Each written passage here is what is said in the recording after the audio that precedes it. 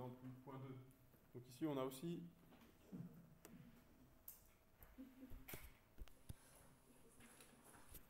un exemple de variable aléatoire et de loi de probabilité à établir, même si ce n'est pas nommé euh, exactement comme ça.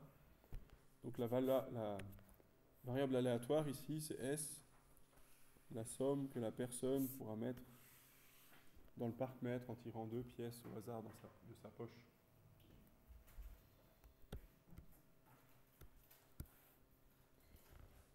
On nous dit qu'elle a 5 pièces de 1 franc, 3 pièces de 50 centimes, 4 pièces de 20 centimes.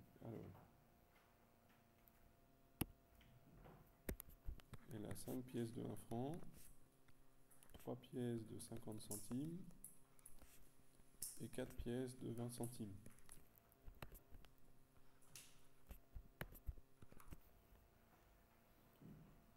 Mais là, pareil, donc le parc-mètre, il n'accepte pas les pièces de 20 centimes. En fait, ça, on peut considérer que c'est comme si on avait 0 franc. Parce que la pièce de 20 centimes qu'on va tirer, on ne pourra pas l'utiliser puisqu'elle ne rentre pas dans le parc-mètre. Et puis il tire deux pièces de sa poche. On peut représenter la situation à l'aide d'un arbre. Il peut soit tirer une pièce de 1 franc, soit tirer une pièce de 50 centimes, soit tirer une pièce de 20 centimes, mais je vais noter que c'est 0 franc. Quand il tire une pièce de 20 centimes, ça ne lui apporte rien, il ne peut pas l'utiliser. Et puis on a la même chose. Ensuite, il peut tirer une pièce de 1 franc, une pièce de 50 centimes ou une pièce de 20 centimes. 1 franc, 50 centimes, 20 centimes, 1 franc, 50 centimes, 20 centimes.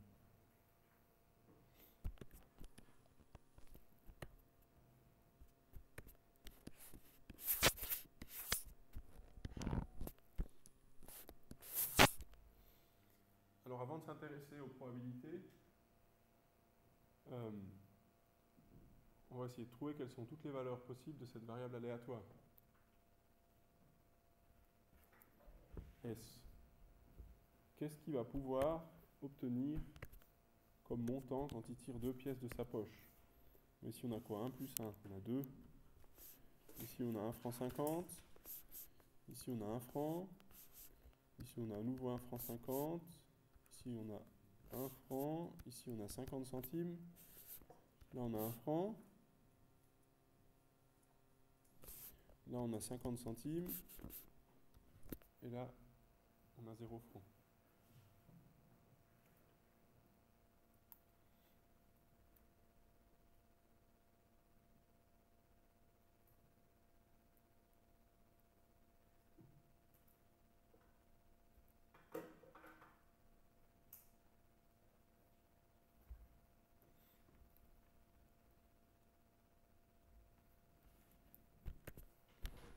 Ça veut dire qu'ici on va trouver différentes valeurs. On a quoi 0, on a 50 centimes, on a 1 franc, on a 1 franc 50, ou on a 2 francs.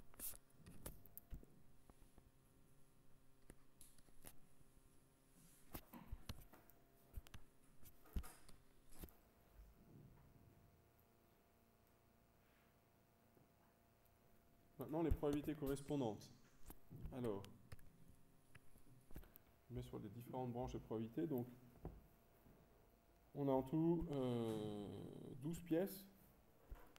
Donc ici, on a 5 chances sur 12 de tirer une pièce de 1 franc. Ici, on a 3 chances sur 12 de tirer une pièce de 50 centimes. Et ici, on a 4 chances sur 12 de tirer une pièce de 20 centimes. Donc, de tirer une pièce qui sert à rien.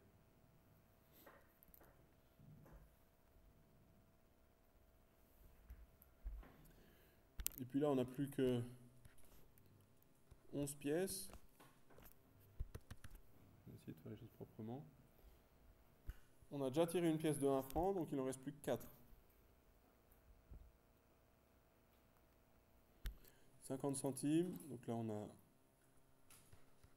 probabilité de 3 onzièmes, et là on a une probabilité de 4 onzièmes pour tirer une pièce de 20 centimes. Donc.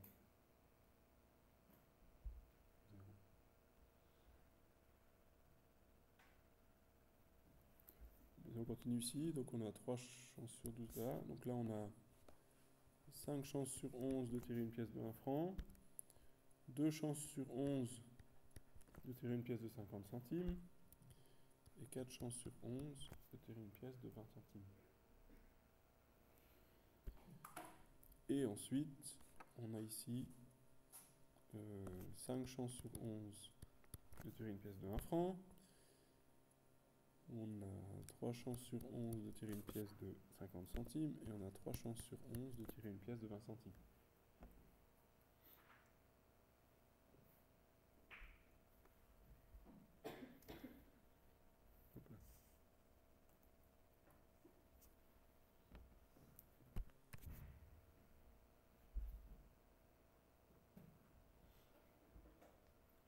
Alors, obtenir 0 francs. On est sur cette branche-là, on a donc 4 fois 3, 12 chances sur 132 de se retrouver avec, ben, pas 0 francs, mais en tout cas rien qu'on puisse mettre dans le parc-mètre.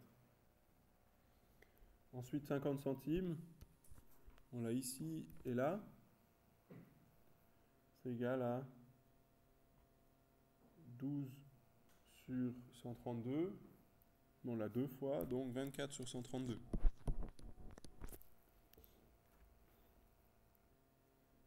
Ici, 12 sur 132 plus 12 sur 132. Possibilité de gagner un franc, on l'a trois fois, on l'a une fois ici, une fois là, et une fois là, mais avec des cas différents. Alors pour un franc, je vais faire le calcul séparément. 1 franc, donc on a ici 5 euh, douzièmes fois 4 onzièmes, donc 20 sur 132, plus 3 douzièmes fois 2 onzièmes, donc 6 sur 132, plus, en train de faire quoi Un franc, j'ai oublié, 20 euh, sur 132. Donc 46 132.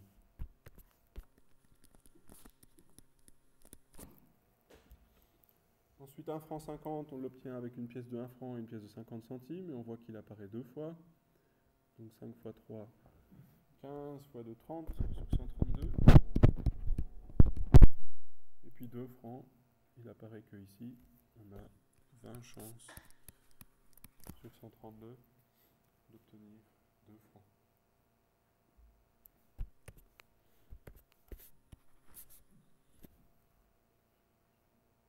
peut faire la somme pour s'assurer qu'on a bien 1. Alors là, on a quoi? 12 et 24, 36. 36 plus 6, ça fait 46. 86, 8 et 5, 13. Ça fait bien 132 sur 132, donc 1.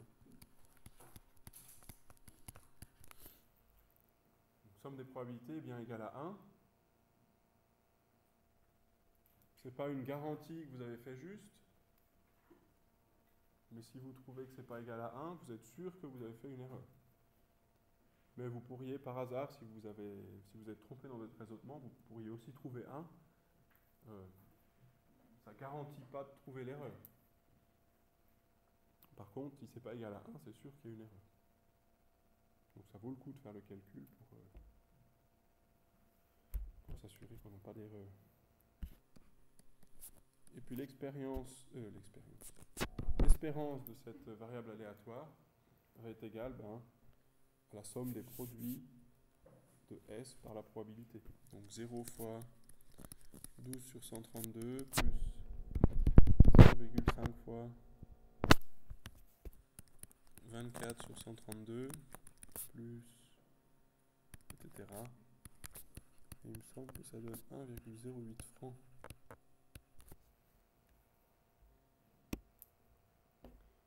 c'est la deuxième question de l'exercice.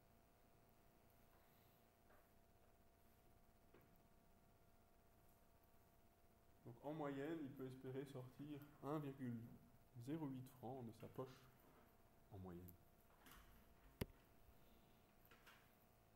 La question c'était 20 minutes de stationnement coûte 1 franc. Quelle est la probabilité pour que l'automobiliste puisse stationner au moins 20 minutes Donc ici,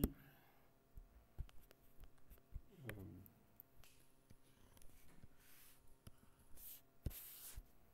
voilà. Donc la probabilité pour qu'il puisse stationner au moins 20 minutes.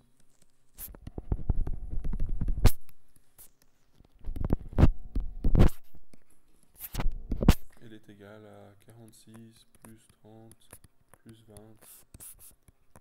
sur 132. Donc euh, 96 sur 132.